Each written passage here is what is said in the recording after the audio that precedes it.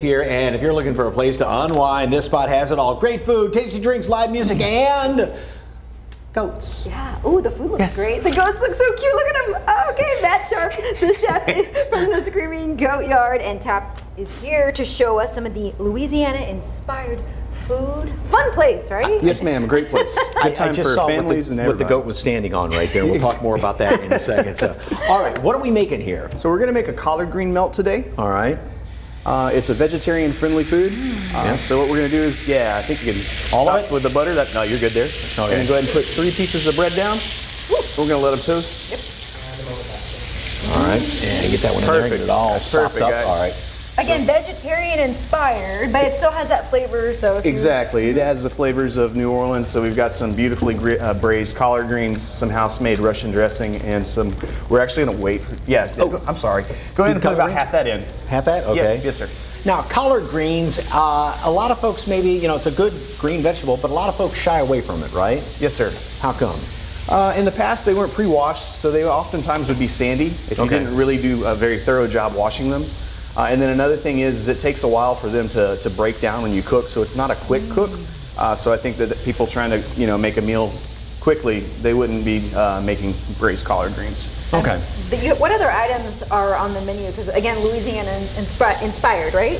Yes, ma'am. So we have a lot of different sausages. We have some really cool pretzel boards. We have boudin balls. We have uh, etouffee and gumbo as well.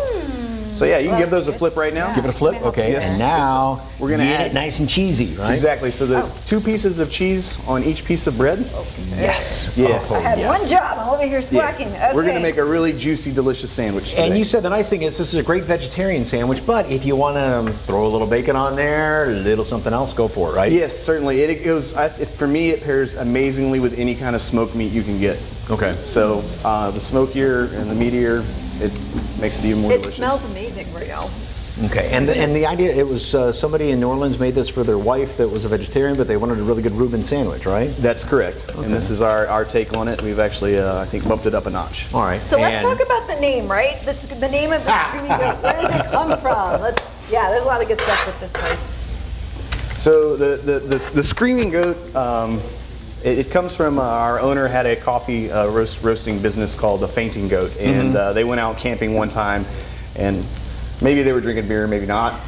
Good Uh, times, they came right? up with the, the name Screaming Goat, Okay. and uh, that's where it comes from. And the rest is history. Now you also have goat games that go on there too, right? Yes, we do. We have uh, Goat Bingo, um, where they walk around and they, they poop on little squares, and we call out the we call out the squares, and you get it right, you win. So Again, good when you go there, you get a bingo card, and while you're eating your sandwich and drinking a cocktail, maybe a goat kick or something like that, you're watching goats roam around and Well, they're they're actually in a little pen, and Okay. sometimes they're out in the yard. This would be a good time to go, go ahead and scrape those real Oh, yes, quick and get forgot up onto uh, one of those pieces of bread, please. okay. Now the viral he's video. trying to avoid talking about the goat go right now, as you can viral see. video because I have to admit I haven't seen it, and they're making fun of me here. Like, what? You haven't seen it? But more than two million views on YouTube. So we thought we'd see it, and then we may try our own impressions. Of right? goat screaming, Yes, by the way, Yes. let's, let's.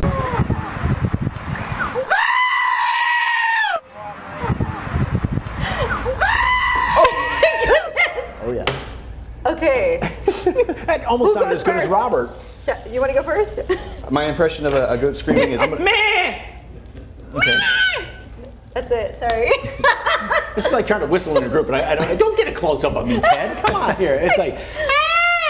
It's very How about nice. that? Oh, was that's perfect. Was that good? That was That's great. really good. Thank you. you. Fooled me. Learned that in college. Okay, back to the sandwich here. Now what? You just pile this on? Uh, so we need to add the Russian dressing. So Oh, add okay. about like a, a half a spoon on each each piece of uh, bread. here right on top is fine. Yep. Okay, right there. It's a very juicy sandwich. It's uh, Russian probably there. best served with a bib. Okay.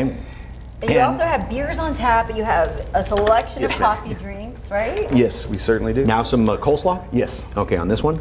So we're just going to stack them up here. All right. And where are you located? Just so, So we're people out in know. uh, Spring Branch.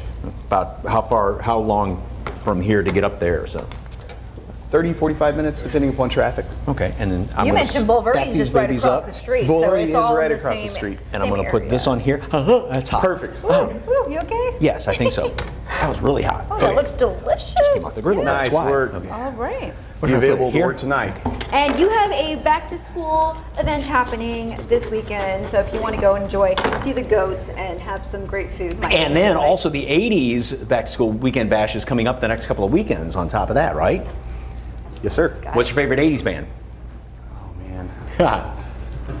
All right, so it the event's happening on Friday, August 19th, and then the 20th and the 21st. You can see all the information there on your screen. Head over to salive.com for more information. You can click the S scene on SA Live tab. How is it, Mike? Mm. Very tasty. Sorry, your mouth's full. I'm asking you a question. Yes. Thank you very much. Thank you so much. My pleasure. Okay. We're talking about